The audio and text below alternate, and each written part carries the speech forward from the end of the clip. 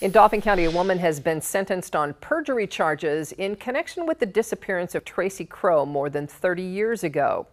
The district attorney says Holly Mallett pleaded no contest to perjury and was sentenced to 6 to 23 months in prison.